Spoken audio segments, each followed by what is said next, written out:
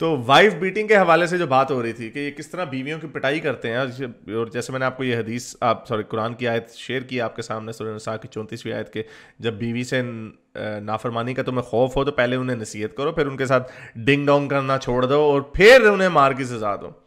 तो लोग छलांगे मारते हैं मोमिनीस नहीं नहीं हल्का मारो ऐसे ना मारो यू you नो know, ये तो सिम्बॉलिकली मारो वो आंटी लिफाफा आई थी जो हमारे पास। आप तो ऐसे हारिस कह रहे हैं जैसे को खुदा ना खास्ता मुक्के मारने का हुक्म लिखा हुआ है। If you remember that aunty. तो एनी सो ये जो um, अब आपको बताते हैं और अभी मैंने आपको बताया कि हज़रत उमर किस तरह पिटाई पोड़ों के साथ पिटाई ठुड्डे मुक्के हज़रत अबू बकर की बहन को नहीं छोड़ा एक लोंडी को इसलिए मार दिया क्योंकि उसने स्काफ पहन लिया उसको कहा कि हिजाब तुम्हारी हिम्मत कैसे हुई मुसलमान औरतों के कपड़े तुम पहन रही हो? और ये वगैरह वगैरह। तो, तो तब किधर गया हल्का हुल्का? तो अब आपको बताते हैं हज़रत मोहम्मद ने हज़रत मोहम्मद के इसके बारे में क्या ख्याल थे सुन माजा के अठारह उनहत्तरवीं हदीस है कि आई हर्ड फातिमा बिन कैस से कि मैसेजर वाला said me when you become lawful tell me so I told him then blah blah blah Abu Maya propose marriage to है द मैसेजर वाला सेट एज फॉर मोयाबा ये इन्होंने पूछा कि भाई, यानी रिश्तों की ना ऑप्शन डिस्कस हो रही हैं। तो मुआविया के बारे में उन्होंने कहा कि वो बंदा तो अब वो कह रही कि इन तीनों में से किससे शादी करूँ? मुआविया से, अबू जुआम से या उस्मान, उसामा से। तो हज़रत मोहम्मद ने मशवरा दिया कि मुआविया जो है वो गरीब आदमी है उसके पास कोई पैसे नहीं है। तो यार ना छो उसे। अबू जहम जो है वो अपनी बीवियों को बड़ा पीटता है। He is a man who habitually you know मारता है अपनी बीवियों को अबू जहम जो है। उसामा जो है वो अच्छा है। तो हज़रत तो उसने कहा कि मैं फिर उसामा उसामा से शादी कर लूँ तो हज़रत मोहम्मद ने कहा हाँ, हाँ उससे शादी कर लो उसकी ओबीडियंस है। तो हज़रत मोहम्मद ने कैजुअली बताया ठीक है ये मेरा ख्याल इंजीनियर मिर्ज़ा ने भी ये हदीस कोट की हुई है कि रसूल अल्लाह इसको पसंद नहीं करते थे। ओ भाई, पसंद नहीं करते थे, जो बीवियों को मारता है तो आप उसको सजा क्यों नहीं देते? आप लोगों को ये तो कह देते हो कि वो तुमने शराब पी तो जहनुम में जाओगे। लोग रोज़े तोड़ने के बाद खुदकुशियाँ करने के लिए तैयार हो जाते हैं, मरने के लिए तैयार हो जाते हैं। कई लोगों ने आके अपने आप को कहा है कि हमें रजम की सजा दो, क्योंकि हमने डिंग डोंग कर लिया ना तो लोग तो इतना डर, यानी आपकी ताबेदारी करते हैं तो आप एक बंदे को ये नहीं कह सकते कि, ओए, बीवी को ना मारो, ये काम खराब है।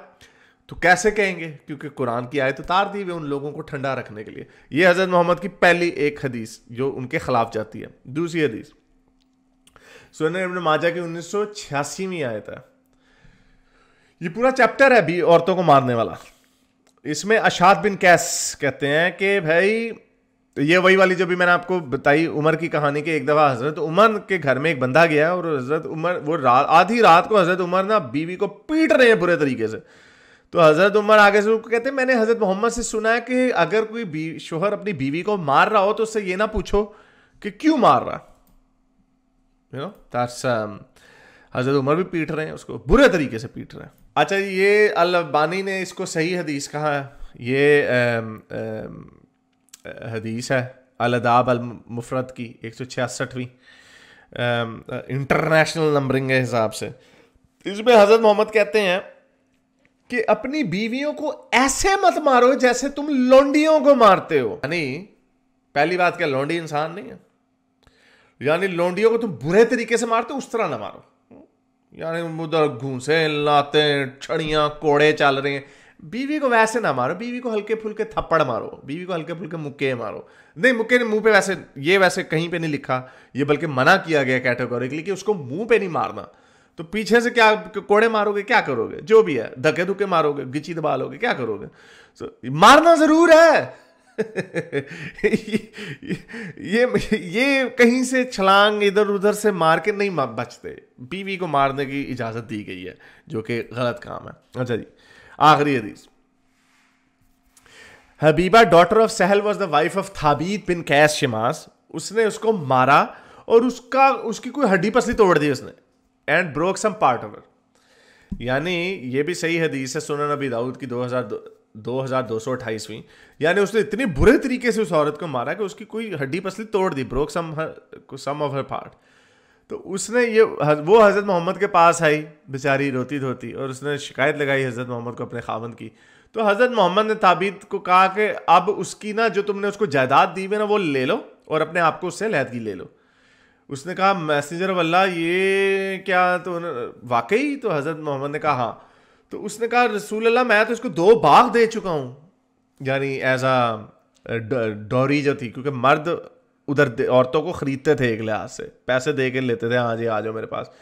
And they are already in possession और ये तो इसके पोजेशन में, यानी इसके कंट्रोल में दो बागात हैं। तो हज़रत मोहम्मद ने कहा कि उनको बागात को ले लो और अपने आप को इससे अलहदा कर लो। चलो अच्छा मशवरा लेकिन सजा किधर गई?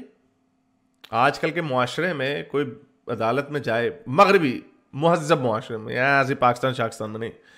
महजब माशरे में साबित हो जाए ना कि उसने औरत अपना नील दिखा दे ना मुँह पे, यहाँ पे तो हड्डियाँ टूटी हुई हैं, नील दिखा दे अपना मुँह पे तो वो अदालत तक पहुँच के बाद तो गया अंदर वो। साल, दो साल, ढाई साल जितनी भी सज़ा होगी, उसको सज़ा ज़रूर होगी। यहाँ पे रसूल अल्लाह कह रहे हैं कि अलहदा हो जाओ, चलो ये एक अच्छी बात है, लेकिन जो उसको बागात दिए हैं वो वो भी ले लो। तो औरत ने बेचारी ने कहा, झक मारी, एक तो हड्डी पस्सी तोड़वाई, ये कैसा इंसाफ है कि बस चलो उसको आज़ाद कर दिया। ये इससे फिर साबित होता कि बीवी की पिटाई जो है, इसके ऊपर कोई इतनी इनको तकलीफ़ नहीं होती थी। आज किसी की, किसी औरत की, मैं आज बता रहा हूँ, सख्त से सख्त आदमी भी, कोई बीवी आए, औरत के अपनी बाजू टूटी हुई लेके आए आपके पास क्योंकि उसके खावन ने मारा, आप कहोगे खावन लाना था तेरे यानी घटिया आदमी है तो। रसूल अल्लाह के सामने बात हुई रसूल ने कहा चलो तलाक दे दो। और जो तुमने इसको जब ख़रीदा था, जो इसके लिए, जो बागात दिए थे, वो भी ले लो वापस। तो ये ये है इस्लाम की दकिया नूसियत तो इसलिए औरतों को जागने की ज़रूरत है। औरतों, जागो। ये है तुम लोगों का इस्लाम। मेरे इस नेक काम को जारी रखने के लिए मुझे पेपैल या पेट्रियन पे ज़रूर सपोर्ट कीजिए, ताकि मैं अपना पैगाम ज़्यादा से ज़्यादा लोगों तक पहुँचा सकूँ।